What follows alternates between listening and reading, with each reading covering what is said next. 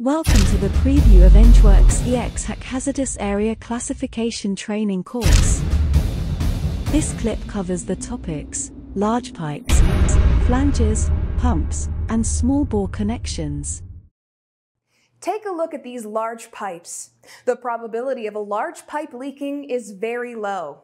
Statistically, we can expect roughly one minor leak per year for every 100,000 meters of large piping. The probability of a major leak is even lower. All welded piping is not considered a leak source for the purposes of a classification design. Most leaks occur at the connection points. This is where temperature cycling and piping movement over time can lead to a failure in gasket materials that seal the connections. The probability of flange leaks is a function of the operating conditions and gasket materials that have been used. Statistically, 1 in 1,000 flange connections will develop a minor leak in any given year.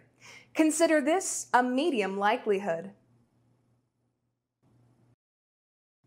Pumps are roughly three times more likely to be a leak source than a valve. This is dependent on the pump service and the pump seal technology. Compressors and gas service will have an even higher probability. Consider the likelihood of a pump or compressor release as a medium to high. By far, the most likely components to leak are small bore connections on instrument tubing and sensor devices. Roughly 5 in 1,000 will leak each year. The likelihood will increase further if these components are subject to vibration from mechanical loads on equipment packages.